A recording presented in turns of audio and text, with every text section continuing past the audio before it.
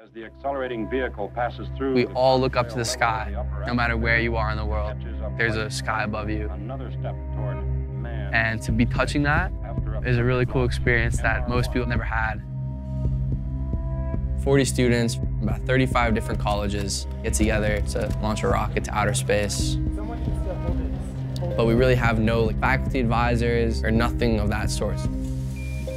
When you have all these different parts of this rocket it's made by different people and they all come together at once, nothing really fits together.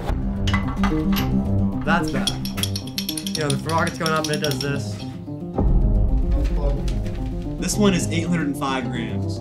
This one is 879 grams. How do you, how do you think this might have happened, dude? All right, let's plug that back in. It has been really tough. Uh, we have a deadline by 4 p.m. One thing I'm worried about is fasteners, hardware, and parts. We're looking at a storyline here. This is the this is the lowest point. I took a risk and it's a decision I made. I mean, even if it doesn't work, which it probably will not, I don't think I, re- I regret it. Five, four, three, two, one.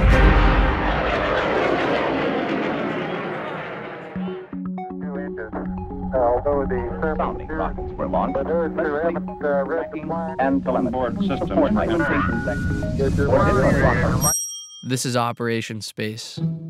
Operation Space is a group of like 40 students from about 35 different colleges who want to get together and do something interesting. What we thought was interesting was to launch a rocket to outer space. So my name is Joshua Farahzad. I founded Operation Space and serve as its project lead.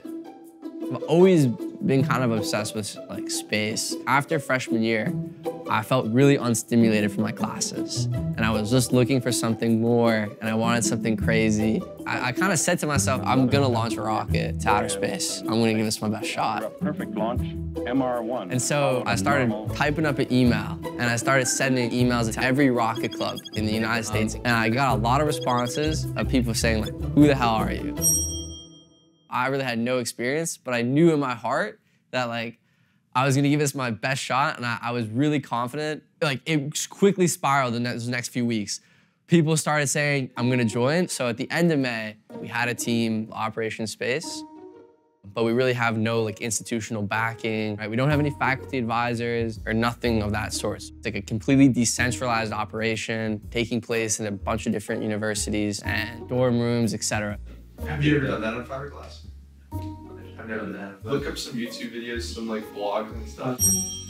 Basically, our resource has been the internet. So this this is a lot better than coming in with I'm Saad Mirza. I'm technical lead of Operation Space.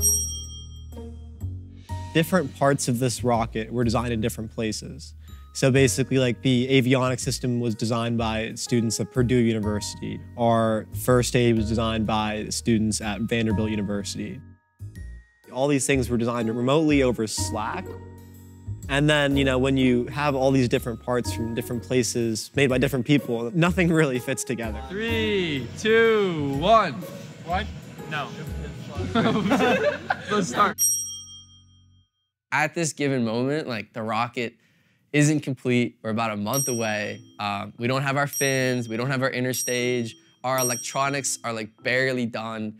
I think a very realistic thing with, is like maybe we have a 50-50 shot. Basically, we're launching in New Mexico because we need a lot of land. So, I mean, if this rocket's going, say, 70 miles up, that means it could go in any direction more than that. So, the only place you can really launch inland is New Mexico because there's like nothing there. Spaceport America is the first private commercial spaceport that's licensed by the FAA or the Federal Aviation Administration to put things into space. So, it's like an airport, but it's a spaceport. So this is the plan. We're building two 17-foot rockets out of aluminum and steel. It's based off of 1960s sounding rocket designs from NASA. We're putting one rocket on top of another in what's called a two-stage rocket. When we press that button, all of a sudden the rocket will scream off the rail, hopefully on its way to space.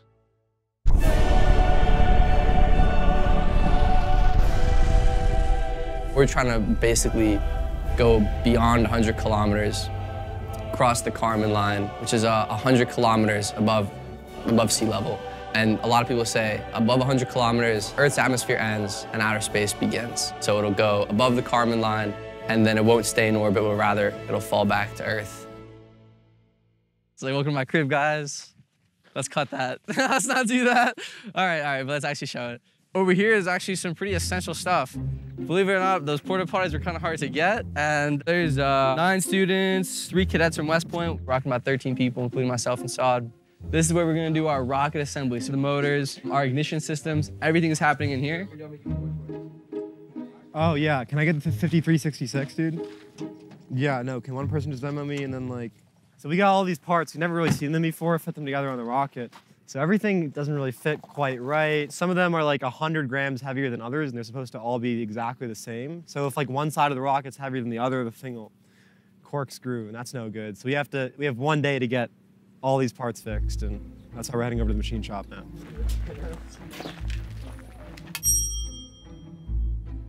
It's the first time that I've actually done any sort of rocket.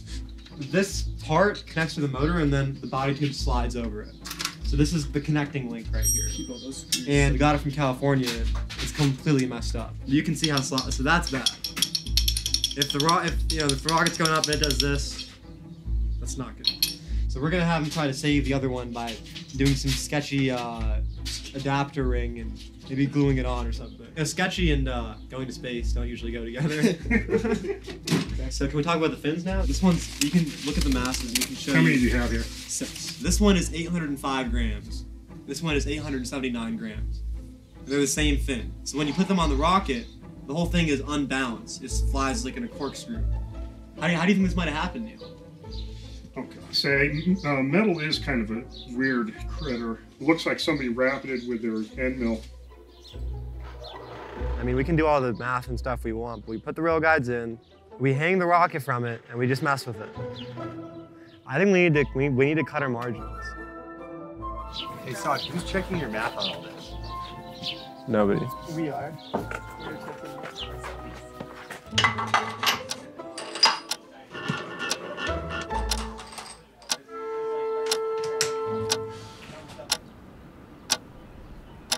One of my guys, Miles, just came in that car over there. He uh, went through the consequences and just got the parts back from Neil. He's been machining all day, basically. Oh, wow, the propellant is loaded. Okay. Let's see if I can get this out. okay. Maybe I should hit the gym more. um, so basically what he did was, I don't know if you can see in the camera, it's almost indistinguishable, but he added a tiny ring and then he shrink fitted it on top. So now this fits on top here. Oh, wait, that was perfect. And then we had the fin. So we asked him to remove material just to lighten it and that make it go higher too. And he realized this is not possible. So instead we have to add material. I don't really know what to say, but that's all we can do at this point. Arguably, if uh, we're looking at a storyline here, this is the this is the lowest point in the storyline. I mean, uh, I'm really I'm just really concerned about those sustainer fins. Honestly, you put a year in, like I just want to see this thing be as good as possible. And like some of the machining work was just like not good. It was done by some incompetent individuals. I still think the most important thing is that you know we launch and it's safe, and af everything after that is still a bonus. This project took up a lot of my time. Unfortunately, you know, I had to uh, withdraw from Princeton University uh, the day before the deadline. So basically, I lost a whole semester worth of tuition. No, I don't think I, re I regret it so far. I mean, even if it doesn't work, I still think I took a risk, and I generally don't want to do the same thing that everybody else and all my peers are doing.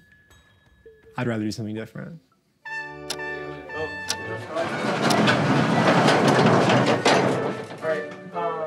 It's pretty heavy. It's about, what, 126 pounds? 137 pounds. This is the first stage. It's also called the booster.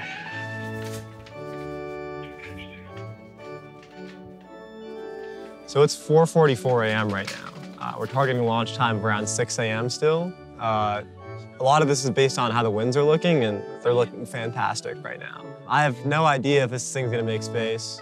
So I think it's something like 10 or 12,000 feet for every pound. It's four pounds heavier than we thought. And we have no idea how that happened. I guess we don't really know what we're doing, but uh, we just lost a few thousand feet. Uh, but I think what really matters is that we beat all odds to get the thing together, get the team down here, and get on the rail.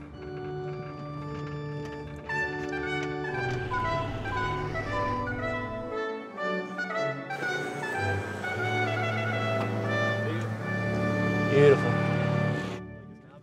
A year ago today, this project like really started and like we're actually here like at a spaceport in New Mexico. Um, there's a rocket on a rail right now. It's really humbling. And no matter where you are in the world, like there's a sky above you. And to be touching that is a really cool experience that most people have never felt, never had, and never been a part of.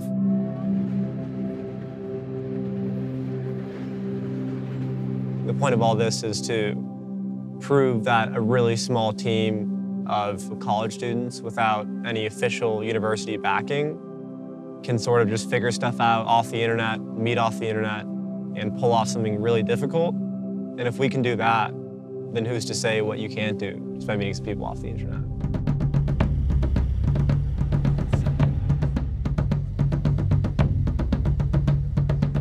All right, we good? All right, we're good again. 10, 9, 8, 7, 6, 5, 4, 3, 2, 1, mark.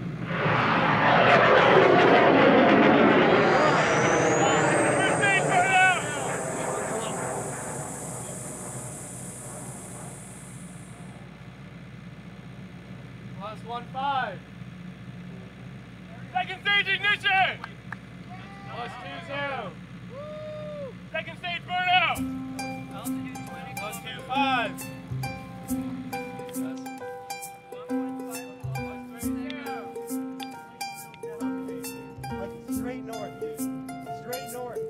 When I thought about this project originally, how hard could it be? You know, uh, I was extremely naive. I'd say there's a couple things that you know we would have done differently. If we basically had designed it to just spin a little bit faster, if those fins were angled a little bit more, it would have made it. But overall, this was an absolutely amazing experience. Honestly, it was life-changing.